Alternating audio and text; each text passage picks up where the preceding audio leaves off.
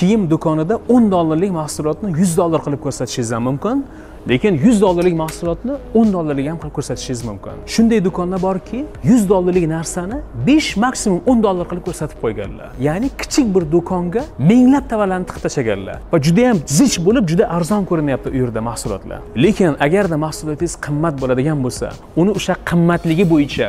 go'zal qilib shinam qilib mana ol deydigan darajada ko'rsatmaydigan bo'lsangiz qimmat mahsulotingizni hech qachon mijozda sotib olmasligi mumkin ayniqsa raqobatni kuchli bo'lgan kunlarida o'n dollarlik narsangizni ham qiymatli qilib yuz dollarlik qilib ko'rsatadigan bo'lsangiz olgan odam ham maza qiladi siz ham savdoyingizdan maza qilasiz agarda video sizga foydali bo'lgan bo'lsa bizni kuzatishda davom eting va yaqinlaringizga ham ulashib qo'ying